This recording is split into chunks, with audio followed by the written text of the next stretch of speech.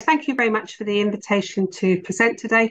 I'm going to talk about magnetotelluric as a technique for imaging melt and use some case studies for the main Ethiopian rift and Afar. In fact, I'm going to start with Afar uh, and then work down. I should have done it the other way around to uh, be more in line with starting from Rita's field area, but never mind. She's introduced some hugely useful concepts, which I'm going to uh, therefore spend less time on than I might have intended. So I'm going to start with just a really, really brief overview of the MT method, then present results from the field areas, and in particular try to indicate how um, other data have been used in conjunction with the MT to make sensible conclusions and, and understand a little bit more about what's going on. And I'll try to sum up at the end. So, uh, what do we do in magnetotellurics? We record the tiny temporal variations in the magnetic and electric fields. And we measure in orthogonal directions using incredibly sensitive equipment because we are trying to get these very small signatures that are arising from externally driven um, field changes from interactions with the solar wind. Then we have to do lots of data processing and convert finally to frequency domains. So we're doing fast Fourier transforms. Uh, and then we look at the ratios of the electric and the magnetic fields as a function of frequency. And those are the data that indicate the subsurface resistivity structure, where period or the inverse of frequency is providing our depth proxy. Uh, we can also look at the structure of these ratios um, of the uh, electric and magnetic fields, and they'll indicate the minimum dimensionality needed to explain our data. And in MT, we use sensitivity tests widely to test the robustness of features and to test whether features are required and, and things like that. So when I mention that later on, those are the kind of studies that um, I'm talking about. So here is the schematic field layout, and you see that we need an area of about 100 meters squared. Uh, we've got, get my pointer to work, yep, there we are, uh, magnetic sense here, these are going to be coils. This is what we use for broadband. If we're doing long period uh, measurements, then we use fluxgate magnetometers. And then we measure the electric field by sensing the voltage difference between two between pairs of electrodes. So if we know what the voltage difference is, we divide by the uh, length of the, the light, the separation between the two, and that gives us the electric field. So that's the schematic. Here it is in, in reality. Um, it's really important to be um, accurate in your uh, setup. So very careful leveling and also very careful orientation of north, south and east, west. So here are magnetic sensors and this is putting in one of the electrodes. We use um, a bentonite mud typically to make sure that moisture is retained. And if we're doing broadband measurements, we'll leave the equipment out for a few days. If it's long period, then they'll be it will be there for a few weeks. And here's an example of um, real-time data uh, using, here are the four components that we're recording, the two magnetic ones at the bottom, two electric ones at the top. This is a two second time scale, and you can see that there are simultaneous bursts of energy in all four components. So these are the signals that we're trying to identify that are telling us about the subsurface structure. And then we do calibration factors, etc., etc., to give time series in the correct unit. So here are the magnetic field changes and here are the electric field changes over now a much longer time scale. So um, I'm not going to talk anything really about the um, inversion or treatment of the data, but I'll go on to some actual, actual examples. And in 2005, there was a mega dike intrusion in a magmatic segment in the Afar, which we've heard plenty about in previous studies. Um, but uh, led by Cindy Ebinger, we went to this area and collected MT data.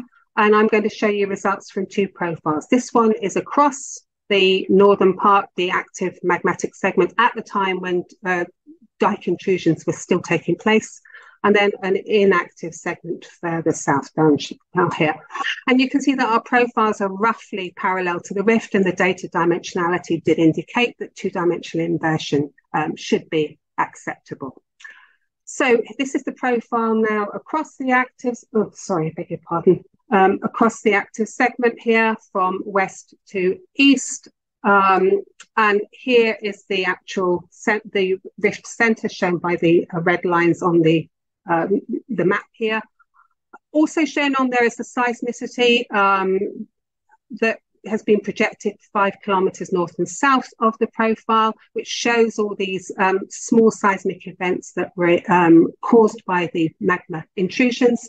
And you'll also see that there, the receiver functions here uh, migrated onto the profile, where you can see uh, very strong uh, receiver functions here and much weaker ones here where our colours are warmer, and I'll come on to that in, in the next slide. But this is now the best fitting two-dimensional model of resistivity, parameterized into blocks. And you can see how the um, resolution of the data changes with depth. We can have, we need very small blocks near the surface, but then much, much broader um, at, at depth there.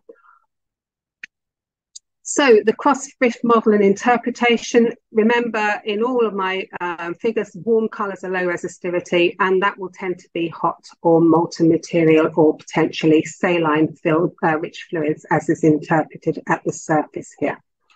So we have um, the rift axis here, already mentioned before, with the seismicity with a known shallow magma chamber. This is known from seismicity from geodesy, um, from the samples that we get from um, eruptions. What was less expected was this deep magma reservoir um, that straddles the Moho here. Uh, but, sensitivity analyses were, are unable to tell us whether these two are connected, but the geochemistry indicates that this deep magma chamber is probably not feeding the dikes. And if we compare that with the inactive segment to the south. This color bar is still the same. So you'll see that there's much less of these warmer colors there. So the higher resistivities mean that there's much less magma. But again, we do see evidence for a magma chamber straddling the moho, again with the attenuation of the re receiver function signals defining the crustal thickness there. Uh, over this um, inactive segment, segment, we also have a gravity model. Uh, here are the gravity data here with the interpretation underneath. And you'll see that there are intrusions of partial melt, relatively high density partial melt with very high density um, solidified basalt above them. And if we project that onto the MT model that I've just shown you, you can see how both of them have evidence for this, this blob of partial melt, essentially at, um, at MOHO depths.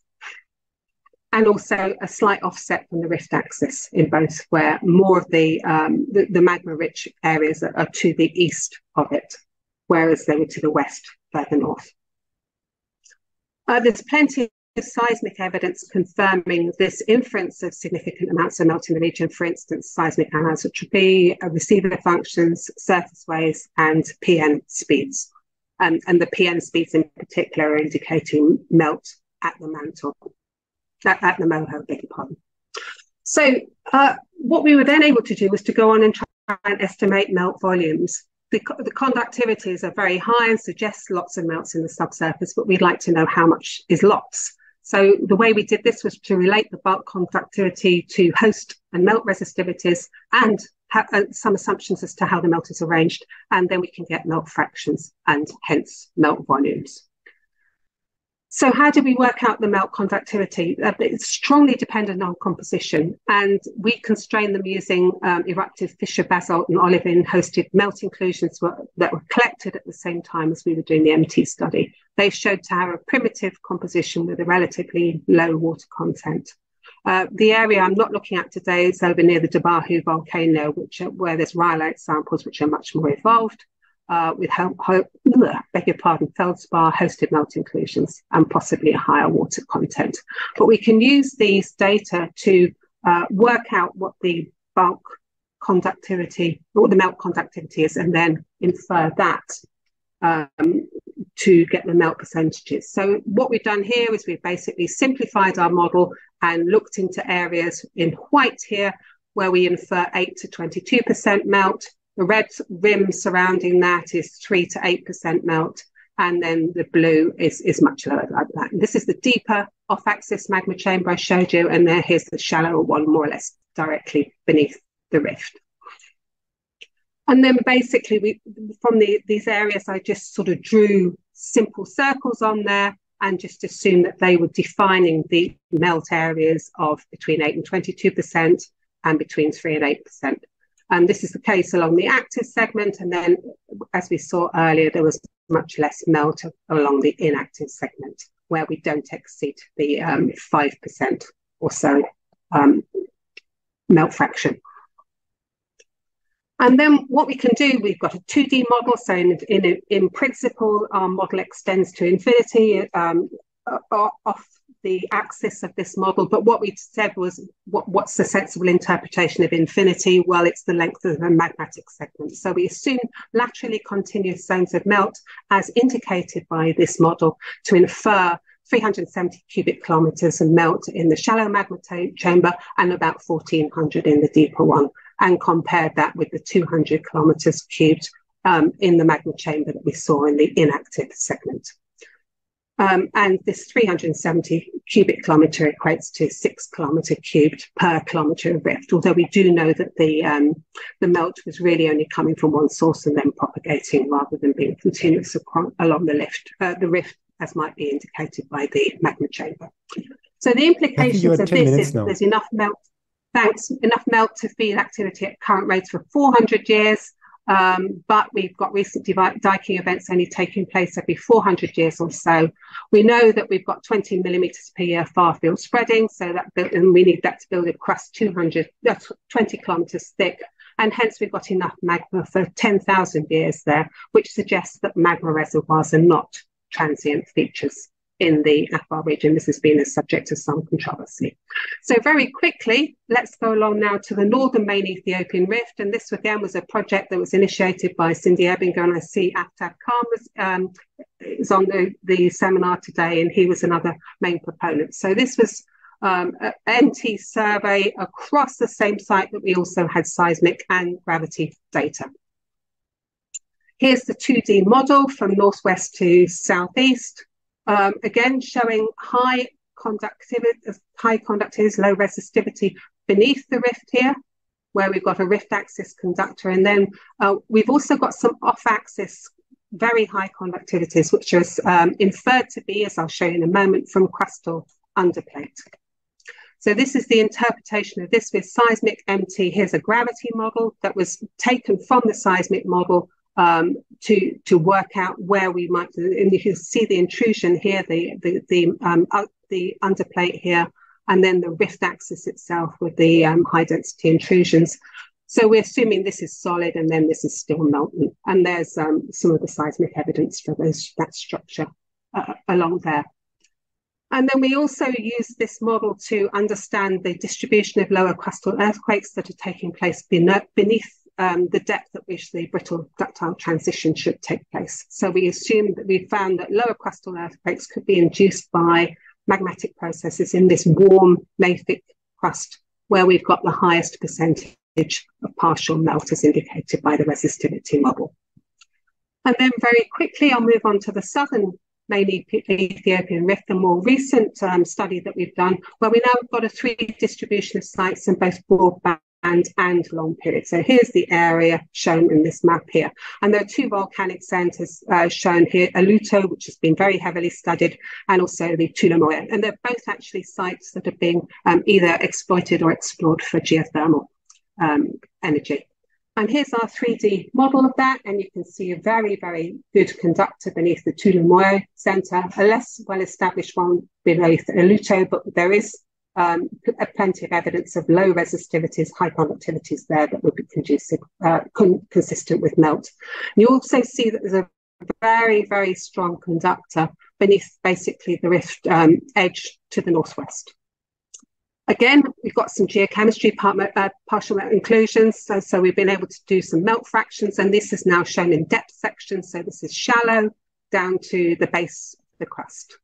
Um, and you can see how we're going to really quite large, um, high percentages of melt in the in the deep part of the crust. Uh, and we've estimated the total volume here. One thing that it is worth saying is that MT does not have the ability to resolve the distribution of melt in the lower crust we don't know from our kind of data whether it's concentrated between beneath the volcanic centers, such as centered by uh, suggested by or more widely distributed, as indicated by Iddon and Edmonds. And these were both sort of toy models that they published in the same year. Regularization causes our um, the melt to be con continuously distributed in our models. Um, as I said, there's a lot of um, there's a lot of conductive material, i.e., we're inferring a lot of melt on the uh, what we call the Silti Debre Zeyit fault zone to the northwest, and also dozens of scoria cones. Um, and we, uh, there's lots of um, either magma storage or slow ascent going on here, as indicated by this model, um, in fact, from uh, from Rooney et al. in 2007. And this is also consistent, this also coincides with the largest amount of seismic SKS phase splitting, which Rita mentioned earlier, anywhere in the, either the northern MER and southern AFR. So we, the, the, melt there is not concentrated um, in these magmatic segments primarily um, beneath the rift zone, but seems to be concentrated off to the northwest. And here are some on and off axis conceptual models as published by um, Edmonds in 2020 with these sort of crystal rich mush here in the axis center caldera and high off axis melt flux um, to the side here. And that's been related by them to the um, carbon dioxide emissions that have been also characterized along the way. So I should finish. Um, conclusions, MT evidence for copious amounts of melt in the MER and AFR. Uh, melt resides just in the mantle beneath AFR, uh, where it should be too buoyant to hang around.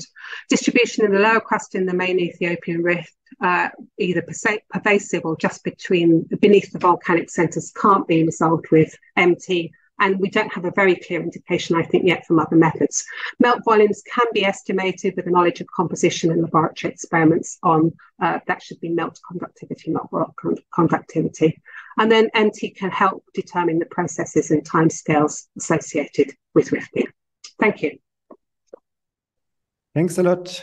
There's time for a few questions.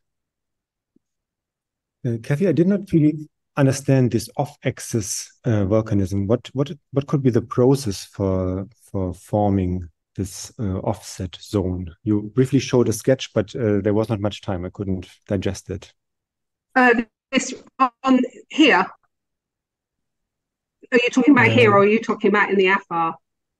I, I still see the yeah this one yeah exactly in the manuscript yeah yeah yeah um it just it just seems to be I, I it's beyond my um ability to to uh, propose what might be causing it um others here may have much better ideas than me, but certainly seems to be the case from the MT, um, not just from our study, previous studies. We saw off axis um, um, melt production um, further north as well. That we think was associated with um, underplating of the crust on the Ethiopian plateau side, very distinct from the structure of the MT model on the Somalian plateau side.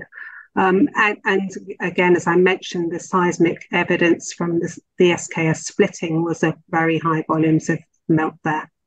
Um, what, why exactly it happens, and, and whether this, the composition is different from what we see in the um, axis center, um, where the magmatic segments are, I, I don't know. There's, there are probably other people here who are much able to comment on that than me. Okay, thank you. Uh, Ameha, you you raised your hand first. Yeah, okay, thank you. I, I, I think probably you answered this question already, but I will ask it anyways. So in in one of your profiles across the active Ado'Ale volcanic complex, you showed that the melt is deflected to the right. Why it happens like this? Why the melt is deflected to the right?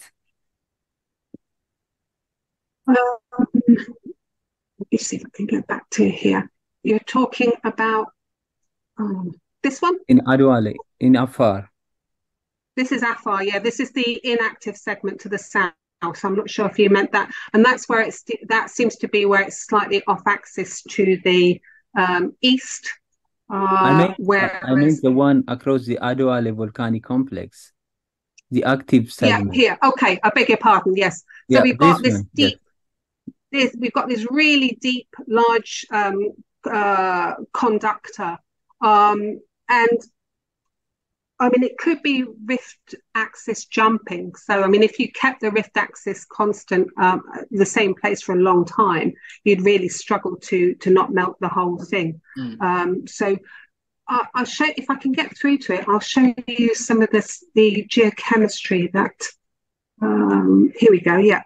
So this is the geochemist viewpoint of that. So we've got um, rapid ascent of magma beneath the rift axis. So it re resides for only a short time in the magma chamber here and then erupts or, or dike, uh, sorry, forms the dikes that are intruded along the, the length of the rift there. Whereas we've got much slower ascent through um, the thermal boundary layer here, and then the, the magma is able to pond at the magma at the uh, the mow here. So this would be the kind of um, scenario that we would interpret that by. Why it should be off, you know, why it should be um, off axis and why it should be particularly on the west. I don't know that I've got any very clear um, view about. Okay, thank you.